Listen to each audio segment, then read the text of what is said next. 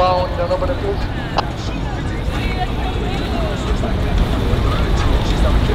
Thank you, slowly.